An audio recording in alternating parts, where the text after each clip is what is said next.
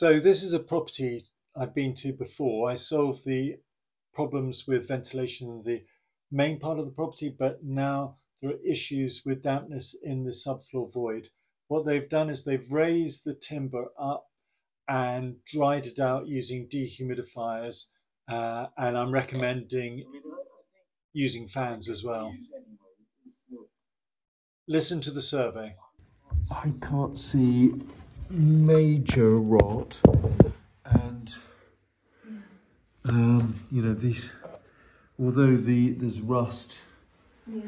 um, the biggest concern oh that's got that's got um, woodworm there Is it woodworm or weevils? Because they well wood, woodworm, wood weevils are a form of woodworm Ah, because when I asked the. it's likely to be wood weevils yes I agree yeah um, And, and all at the end of these floorboards that they pulled up, I mean, because they might have died with all this drying out, they could see weevils.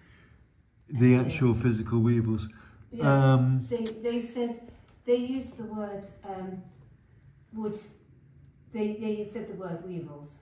yeah Because I, I said, is that the same as woodworm? And like you said, no, no, it's not woodworm, but it's weevils that grow in damp conditions.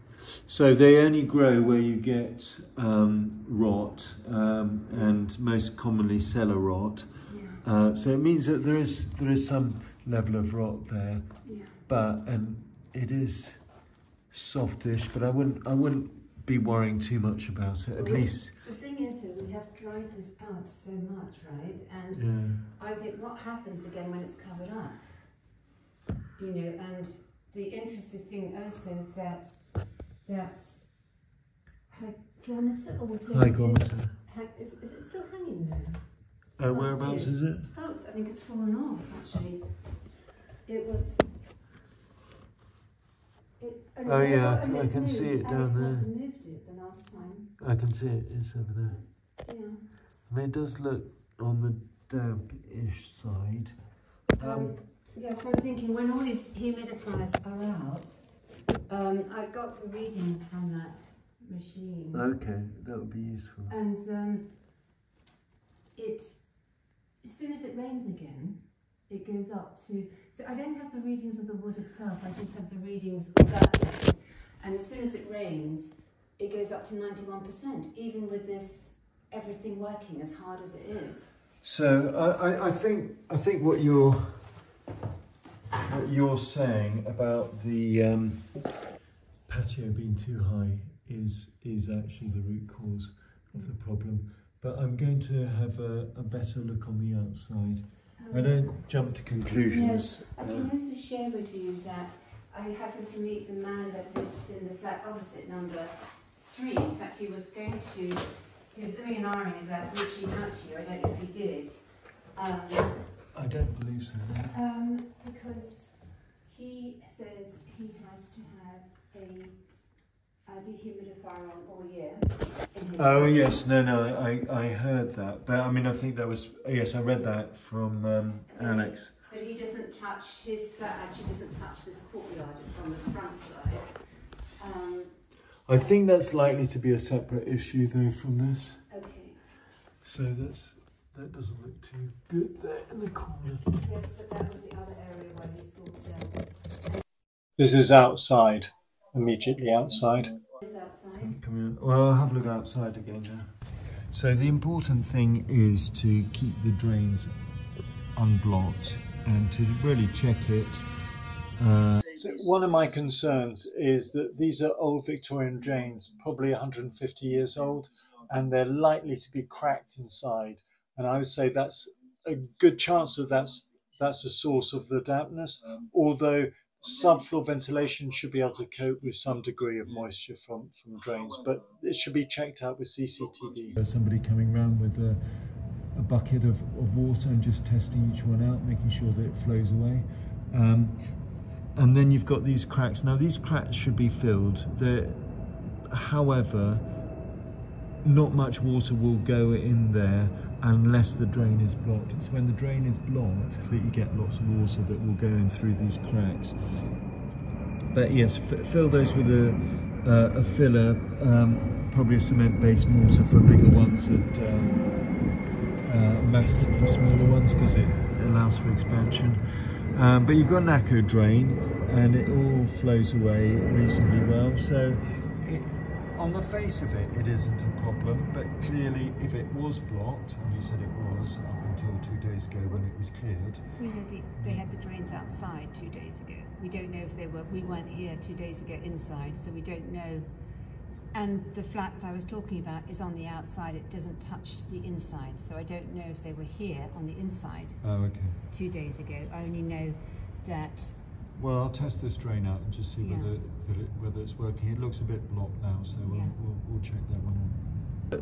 A solution is to put an, um, a, a fan onto the external vent, yes, uh, and there, there are specific ones that you can get um, that are made for subfloor ventilation, and, and I'll put that in the report, and that that solves the excess vapor in the subfloor void, but it's not the the root cause will be the water coming in, uh, either because this was blocked uh, and or is blocked. I don't think it's blocked at the moment, but I think it has been blocked. You can see from that. Um, but there are also gaps and cracks that need to be filled. But I, I think that those are relatively minor. But it, but if this is blocked, then they they Well, there's a lot become major. gaps exactly. here. Exactly. But what, what I'm saying Yes. is, if it if it's Yeah. flooded, then it becomes an issue. Yes. If it's not flooded, then it's not great, but it's not. And what about just the fact that the, there is no nowhere for groundwater to drain here? You know, it's Well, it should it should drain through this. Though I would have thought. It's very little when you consider you've got the whole building, everything on there is coming. But it, but if it's blocked, then it's a Yes, problem. But if it yeah. isn't blocked, but you, c- I mean, it's likely that it's going through here. But Yeah. Because it's just that. I'm, I'm not going to conclude too too Yeah. soon, but Yes, I, but I would say that um, you can mitigate the problem by by Right. having the the Do you ventilation. think you need more So- than one? Well, there's the good arguments for it for, for on a building-wide basis, but because if there's a problem in this flat, you'll probably find there were other Well, problems there with other there are flats. problems with other flats. But but I think those were above floor. Th this is below floor Yes. issue. I mean, there Yeah. was an above floor issue Mm. before because these properties were built in the old times, and people, you know, they there's a lot more condensation vapor Yeah. produced than there used to be. Yeah. But what you the specific issue you have here is below floor. It's below, yeah. Um, and I think with the other neighbour, it's probably above floor, but I don't know because Yeah. I haven't seen it. Well, I can show you what the original ones look like. I know, but but but I don't think the um, the style of air brick changes anything. It's the location is, is the same as the original one. Ex- except the surely the original one would have been under the floorboards. Not necessarily. I doubt it. Um, I mean, it's possible the whole thing has been raised up. That's what I think because when you look around the side, I think when they put the gutters in, that was the easiest way for them to do it. These gutters, instead of digging down, they just lifted these the are whole. ACO and- drains. yes. But I, I, I think they're a good thing. I mean, you have you got a specific risk here, so I need to look at this because you've got this is the lowest point, Yes. and, and this is where the water is likely to run to. You So want once again, I think that it's possible the patio has been built up and that some moisture is getting through, but a cellar should be able to cope with penetrating damp. that soil, that's water coming through soil, passing into the subfloor. It's the lack of ventilation that's causing the problem. And this type of ventilation is probably original. It's what's called periscopic. So it, it goes um, from above ground to below ground. It allows you to have the ground floor at the same level as the outside. Great from an interior design perspective, but not so good from a damp perspective. The simplest solution is to add an inline fan uh, and making sure you have wire mesh to stop any rodents uh, getting through and committing suicide. Uh, and you need to obviously have um, wiring. I think it should be done on a building wide basis. Uh, I think you want to dry the, the floor out as much as possible. Uh, use a fan to speed up the process.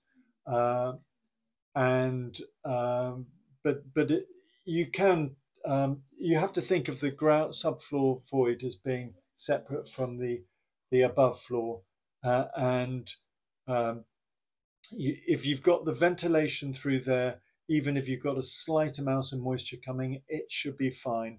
I would have the the the drains checked with the CCTV and repaired, and I think I think this is a freeholder issue because I believe the subfloor forms part of the freehold rather than the leasehold. But that's for you to to um, challenge, argue, discuss. Okay. Oh, and as far as the rot is concerned, once the dampness goes away, it will stop growing. The wood weevil will disappear, appear, will disappear. Keep measuring the subfloor relative humidity, monitoring it. Uh, it should drop down below about 85 and then obviously over time less than that. Uh, it will go up when the, the outside uh, is wet because outside is 100% relative humidity when it's raining. So naturally will go up, but it should come back down again. Uh, it didn't strike me as that they were major structural concerns, but your freeholder should ask a structural surveyor for to check that, and they may have to just build up some brick pillars. But I don't think anything particularly major. Uh, I don't think there's a need to replace the timber per se. Thank you, and do subscribe and see some more videos.